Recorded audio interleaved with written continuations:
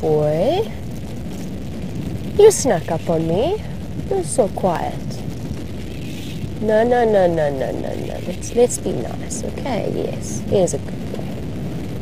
It's a young bull coming across to have a drink.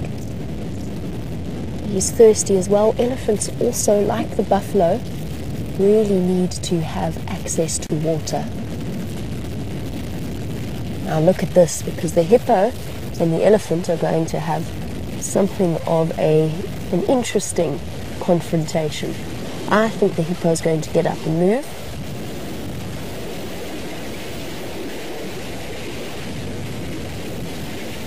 The elephant's going to go chase that hippo away.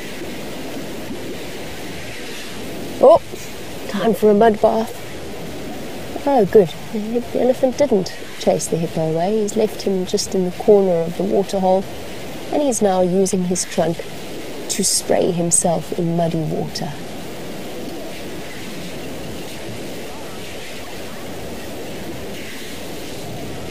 And there you go, you've got an elephant using its trunk in one of the most common ways that elephants do. Laurel, you were wondering why elephants have trunks. And there's actually so many different reasons and different ways that they use them. But it is an incredible thing. And it's something that is almost completely unique to the African and the Asian elephants. So elephants have trunks.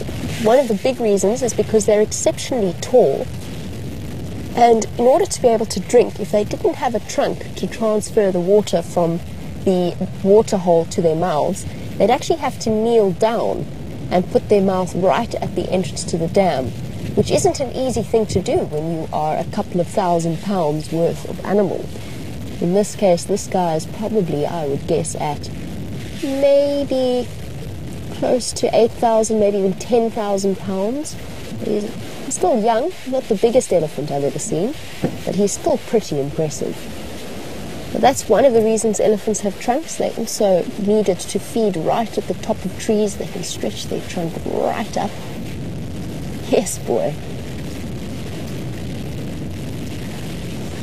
He's going to go, I think he wants to chase the buffalo. Oh, no. Changed his mind, having a good flap. Look at him, he's covered in mud to help him cool down. Actually, Alicia, that answers your question about why elephants have rough skin. Well, that is one of the reasons, is because it sort of all of the mud and the water gets into the cracks of the skin and helps to keep an elephant nice and cool because it doesn't dry quickly. So the elephant can stay nice and cool, especially out here when it goes over 100 degrees. Chasing a bird. Silly elephant. Now is he going to go chase the buffalo? No? what was that all about, you silly boy?